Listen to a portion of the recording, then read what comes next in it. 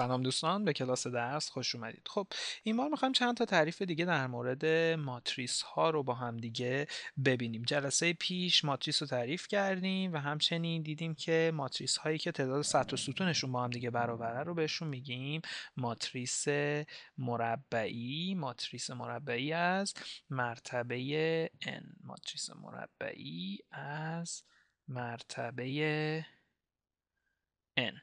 درسته؟ خب حالا یه ماتریس مربعی بیاد با هم دیگه بنویسیم. فرض کنید که ماتریسمون هست یک شیش منفی دو سه چهار هفت سه نه پنج دو.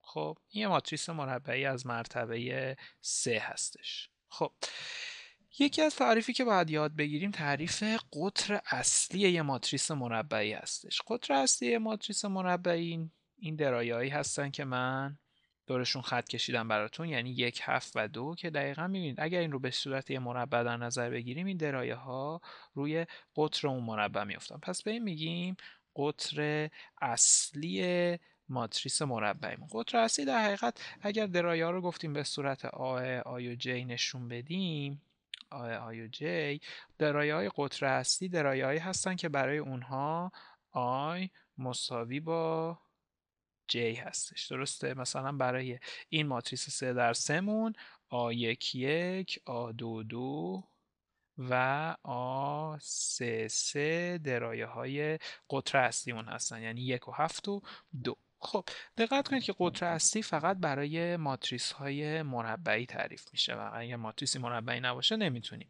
قطر اصلی رو براش تعریف بکنیم. خب حالا اگر یه ماتریس مربعی داشته باشیم که همه درایه های غیر از درایه های قطر اصلیش صفر باشن مثلا فرض کنید که ماتریسمون به این صورت باشه قطر اصلیش باشه یک و هشت و سه و همه بقیه درایه هاش صفر باشن. به یک همچین ماتریسی میگیم ماتریس قطری. پس به این ماتریس مربعی میگیم ماتریس قطری. خب برای اینکه یادمون نره اینجا بنویسیم ماتریس قطری چه جور ماتریسیه؟ درایه های درایه های غیر قطر اصلی غیر قطر اصلی باید چی باشن؟ باید صفر باشند. خب دقت کنید که ما نگفتیم قطر اصلی حق نداره روش صفر داشته باشه. خب مثلا اینجا ممکن بود ما به جای این سه داشته باشیم صفر. خب یا به جای این یک داشته باشیم صفر. خب باز هم چون درایه های غیر روی قطر اصلیمون همه صفر هستن این ماتریس یه ماتریس قطریه. پس قطر اصلی می‌تونه روش صفر داشته باشه ولی درایه های غیر قطر اصلی باید همگی صفر باشن تا ماتریسمون قطری بهش بگیم. خب یه جور دیگه از ماتریس های مربعی ماتریس هایی هستن که توشون همه درایه های زیر قطر اصلی صفر هستن. مثلا فرض کنید که ماتریسمون اینطوریه. یک و دو و سه درایه های قطر اصلیش هستن بالای قطر اصلی هم مثلا چهار و پنج و شیش داریم ولی همه درایه های زیر قطر اصلی صفر هستن. خب به این ماتریس ها بهشون اصطلاحا ماتریس های بالا مثلثی میگیم.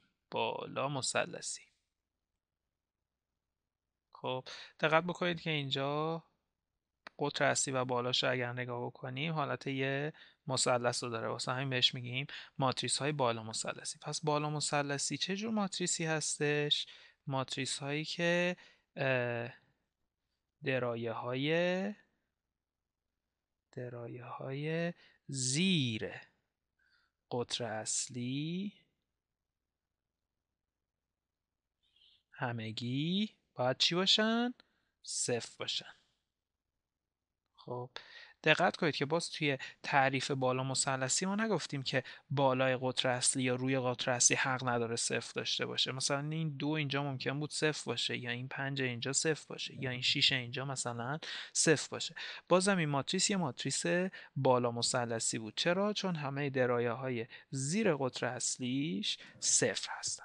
خب عین ماتریس بالا مثلثی می‌تونیم ماتریس پایین مثلثی داشته باشیم. ماتریس پایین مثلثی ماتریسی هستش که همه درایه های بالای قطر هستیش صفر هستن. مثلا اینجا فرض کنید که قطر هستیمون یک و دو سه این پایین هم داریم چهار و پنج و شیش و هرچی که بالای قطر هستی هستش اگر صفر باشد به این ماتریس میگیم ماتریس پایین مثلثی.